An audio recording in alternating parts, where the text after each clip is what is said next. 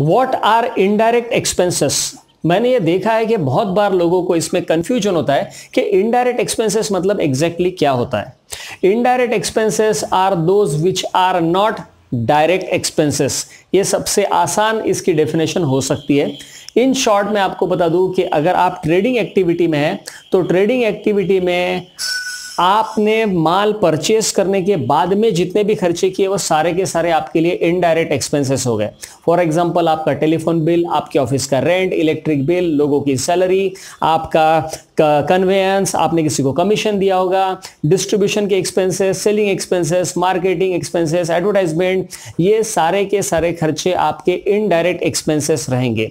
Indirect expenses are those which are not directly related with your core business activity